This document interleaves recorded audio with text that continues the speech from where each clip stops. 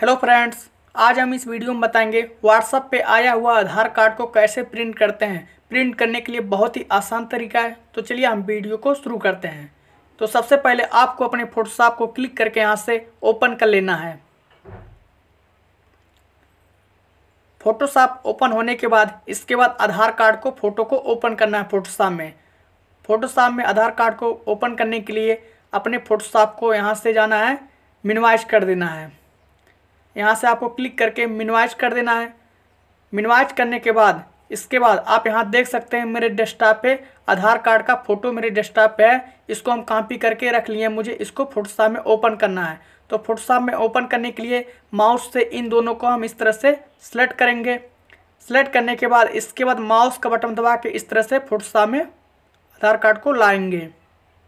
इसके बाद यहाँ माउस का बटन ला के छोड़ देंगे। तो आप यहाँ देख सकते हैं ओपन नहीं हो रहा है, इस तरह से कुछ एरर आ रहा है। इस तरह से प्रॉब्लम आए तो आपको क्या करना है, यहाँ से ओके कर देना है। ओके करने के बाद फिर से अपने फोटोशॉप को यहाँ से मिनिमाइज कर देना है। मिनिमाइज करने के बाद, इसके बाद आपको यहाँ डेस्कटॉप पे माउस से क्लिक कर देना है। क्लिक करने के बाद, इसके बाद यहाँ अपने माउस का इस पर राइट बटन क्लिक करना है। इसके बाद आपके सामने इस तरह से आ जाएगा। तो आपको नीचे आ जाना है तो आप यहाँ देख सकते हैं, लिखा ओपन विथ आपको ओपन विथ पे क्लिक करना है, इसके बाद आपको इस साइड में आ जाना है। तो आप यहाँ देख सकते हैं, लिखा पेंट आपको पेंट पे क्लिक कर देना है। तो आप यहाँ देख सकते हैं, आपका आधार कार्ड पेंट में खुल जाएगा। इसको थोड़ा हम छोटा कर लेते हैं आधार कार्ड को। इसके बाद आपको इसको सेव करना है। सेव करने के लिए आपको यहाँ ऊपर फ़ाइल पे जाना है। यहाँ फ़ाइल पे क्लिक करना है। इसके बाद आपको नीचे यहाँ सेव पे क्लिक कर देना है।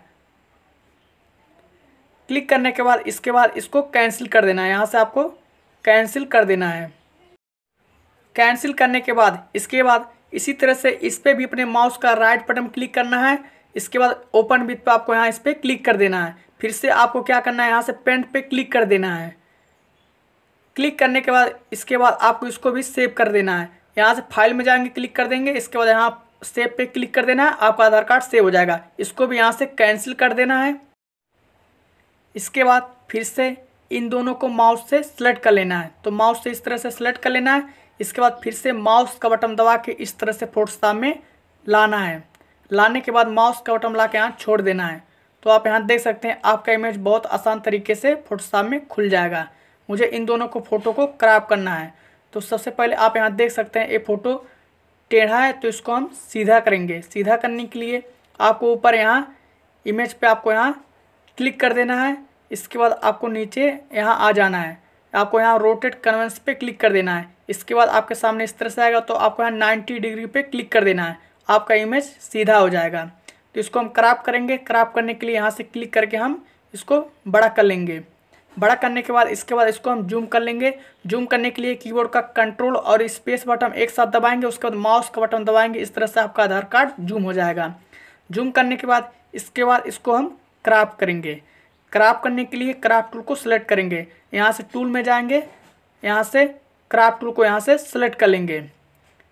क्राफ्ट टूल सेलेक्ट कर लेंगे, इसके बाद माउस का बटन दबा के इस तरह से जितना आपको क्राप करना है, इस तरह से आपको इसको सिलेक्ट करेंगे। तो आप यहाँ देख सकते हैं अच्छे से सिलेक्ट नहीं हो रहा है। इस तरह से इस तरह से प्रॉब्लम आ रहा है। तो इस तरह से प्रॉब्लम आए तो अपने माउस का यहाँ राइट बटन क्लिक करना है। आपको यहाँ कैंसिल पे क्लिक कर देना है। इसके बाद आपको यहाँ ऊपर जाना है माउस से। आपको यहाँ क्लियर आपको यहाँ क्लियर पे क्लिक कर देना है। इसके बाद फिर से माउस का बटन दबा के इस तरह से आप कर, इसको सिलेक्ट कर सकते हैं। आप यहाँ देख सकते हैं। जितना आप सेलेक्ट करना चाहते हैं, उसको उतना आप अच्छे से सिलेक्ट कर सकते हैं। आप यहाँ देख सकते हैं। यहाँ से इसको कम बेसी भी कर सकते हैं, इस तरह से। यहाँ से अच्छे से आपको यहाँ से सिलेक्ट कर लेना है। तो आप यहाँ देख सकते हैं, थोड़ा इसको हम रोटेट कर लेते हैं, थोड़ा टेढ़ा है।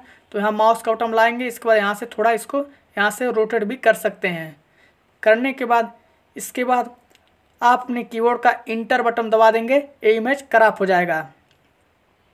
ख़राब करने के बाद, इसके बाद आप यहाँ देख सकते हैं, इसमें लाइट कम है तो लाइट बढ़ाएँगे। लाइट बढ़ाने के लिए आप अपने कीबोर्ड का कंट्रोल शिफ्ट यल बटन दबाएँगे एक साथ, इसमें ऑटोमेटिक लाइट बढ़ जाएगा। और लाइट बढ़ाना चाहते हैं तो और उसके बाद आपको यहाँ ऊपर जाना है, आपको यहाँ इमेज पे क्लिक करना है, इसके बाद यहाँ एडजस्टमेंट पे, इसके बाद आपको इस साइड में यहाँ आ जाना है। आपको यहाँ ब्राइटनेट कंट्रास्ट पे क्लिक कर देना है। इसके बाद आपके सामने इस तरह से आएगा तो आप यहाँ माउस से पकड़ के इस तरह से अपने फ़ोटो के हिसाब से जितना लाइट बढ़ाना चाहते हैं यहाँ से बढ़ा सकते हैं। यहाँ से बढ़ा लेना है। इसके बाद यहाँ से डार्क भी कर सकते हैं यहाँ यहाँ बढ़ा के। बढ़ाने के बाद, इसके बाद आपको यहाँ से ओके कर देना है। ये देख सकते हैं यहाँ कंप्लीट हो गया। इसके बाद यहाँ से जाना है आपको। यहाँ जाना कोने में, यहाँ इस पर क्लिक कर देना है। इसी तरह से इसको भी क्रॉप कर लेना है। इस पर क्लिक कर देना है। यहाँ से क्लिक करके बड़ा कर लेना है। इसके बाद इसको भी थोड़ा हम जूम कर लेते हैं।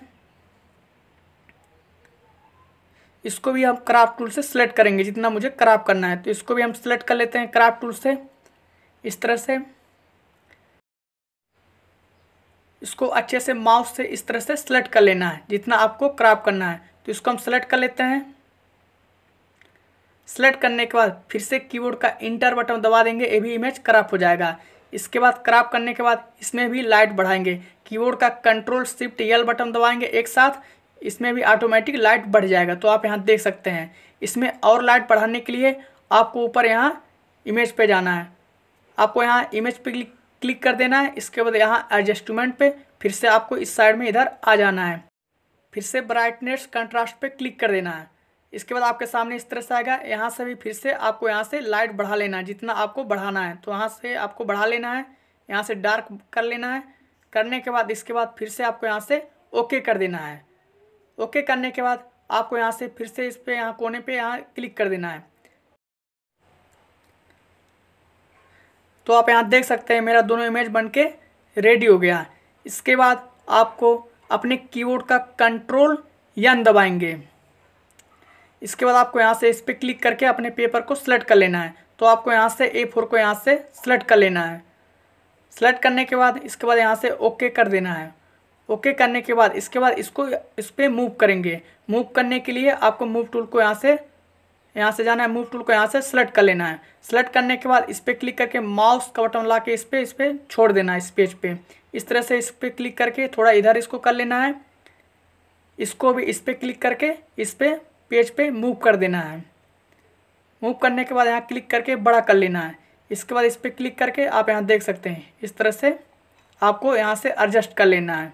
तो आप यहाँ देख सकते हैं, यदि आपके इमेज पे सिलेक्शन इस तरह से ना है तो आपको यहाँ कोने में जाना है। आपको यहाँ इस पर क्लिक कर देना है। इसके बाद आपको यहाँ इस पर भी क्लिक कर देना है। सिलेक्शन आपके इमेज पे आ जाएगा। यहाँ से इमेज को यहाँ से बढ़ा भी सकते हैं। कीबोर्ड का शिफ्ट बटन दबा के इस तरह से इमेज को बढ़ा सकते हैं। इंटर बटन दबा देंगे। इस तरह से यहाँ से इसको छोटा भी कर सकते हैं, बड़ा भी कर सकते हैं। यहाँ से इसको भी हम बढ़ा लेते हैं, इस तरह से दोनों साइज़ में कर लेते हैं। इस तरह से आपको साइज़ में यहाँ से बढ़ा लेना है। बढ़ाने के बाद इन दोनों को यहाँ से इस तरह से आप यहाँ देख सकते हैं। शिफ्ट बटन दबाएँगे, ये दोनों इमेज सेलेक्ट हो जाएगा। यहाँ से इसको यहाँ से सेलेक्ट करने के बाद यहाँ से बड़ा भी कर सकते हैं। यहाँ से बड़ा कर लेते हैं, इस तरह से आपको एडजस्ट कर लेना है। तो आप यहाँ देख सकते हैं मेरा बन के रेडी हो गया है। इसके बाद प्रिंट कैसे करेंगे? प्रिंट करने के लिए आप अपने कीबोर्ड का कंट्रोल पी दबाएँगे। इसके बाद आपको यहाँ प्रिंट पे क्लिक कर देना है। इसके बाद आपको यहाँ प्रोड्यूस पे क्लिक कर देना है। इसके बाद अपने प्रिंटर को यहाँ से सेलेक्ट कर कर लेना है। जो भी प्रिंटर आपका रहेगा, यहाँ से सेलेक्ट कर लेना है। सेलेक्ट करने के बाद इसके बाद यहाँ प्रॉपर्टीज़ पे क्लिक कर देना है। इसके बाद अपने यहाँ से ए फोर को यहाँ से सेलेक्ट कर लेना है। पेपर साइज़ को सेलेक्ट कर लेना है। इसके बाद यहाँ से ओके कर देना है। इसके बाद यहाँ से ओके कर देंगे, आपका आधार कार्ड प्रिंट हो जाएगा। तो आपको मैं दिखा देता हूँ। तो आप यहाँ देख सकते हैं, मेरा आधार कार्ड प्रिंट हो गया। तो आप यहाँ देख सकते हैं। इस तरह से बहुत आसान तरीके से आप आधार कार्ड को फ़ोटो कापी को निकाल सकते हैं प्रिंट आउट निकाल सकते हैं। वीडियो अच्छा लगा तो लाइक कर दीजिए, नए हो तो चैनल को सब्सक्राइब कर लीजिए।